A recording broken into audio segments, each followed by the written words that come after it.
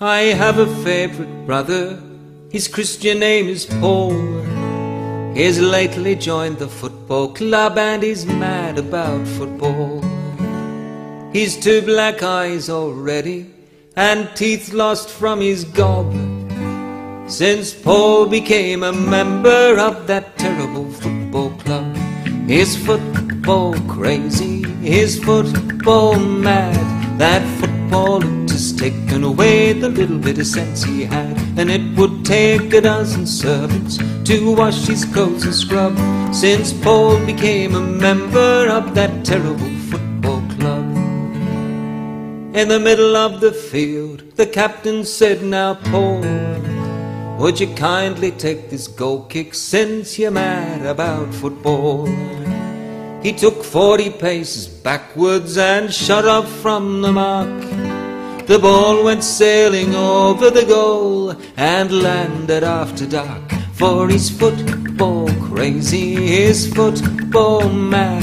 That football had stick and away the little bit of sense he had. And it would take a dozen servants to wash his clothes and scrub. Since Paul became a member of that terrible football club. Now Paul he had a girlfriend and they set the wedding date. But he found he had a football match and said she'd have to wait. So she dressed up in a bright gown and to the match she came.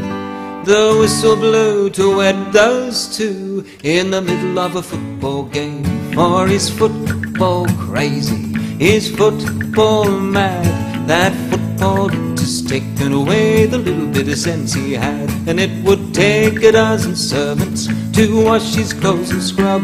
Since Paul became a member of that terrible football club.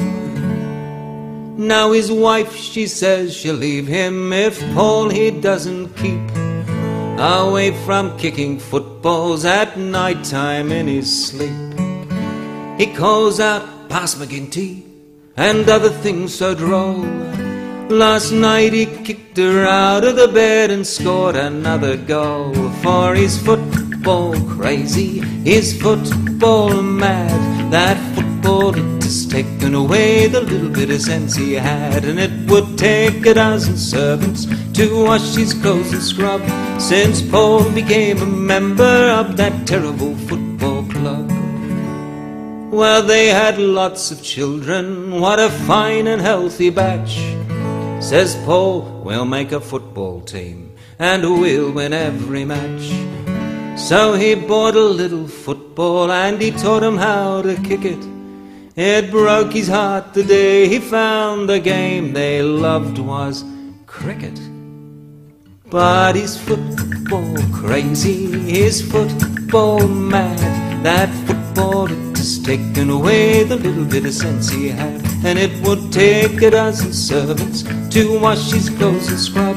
Since Paul became a member of that terrible football club. Yeah, he's football crazy, he's football mad. That football had just taken away the little bit of sense he had. And it would take a dozen servants to wash his clothes and scrub.